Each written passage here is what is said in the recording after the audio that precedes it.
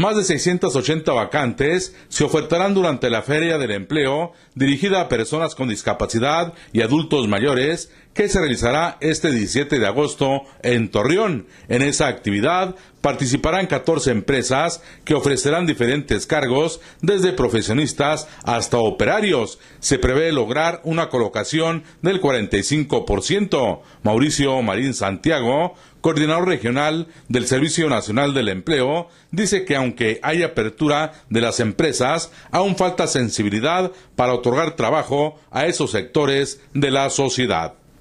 Eh, este miércoles 17 de agosto de 8 de la mañana a 2 de la tarde.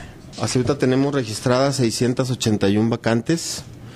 Eh, ahora sí que tenemos desde profesionistas como psicólogos, abogados, analistas administrativos, médicos y personal operativo como vigilancia, limpieza, ayudantes generales, cocina, empleados de mostrador, operarios, entre otros. Hemos registradas 14 empresas que van a ofertar sus vacantes y esperamos poder atender entre 300 y 400 buscadores de empleo.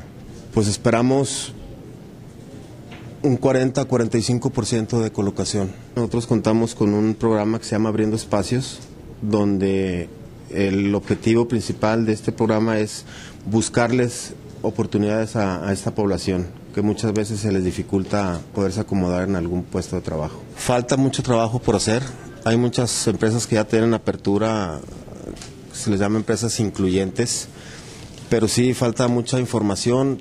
Las empresas incluyentes tienen eh, varios beneficios fiscales, sobre todo, exención de, algunos impuestos como el impuesto sobre nómina, eh, pero sí falta mucha información y sobre todo pues que ellos se sumen a, a este esfuerzo. Nosotros tenemos o hemos trabajado alrededor de unas 30 empresas poco más o menos. Con imágenes de Alejandro Hernández, para RCG Informa, Alfonso Hernández.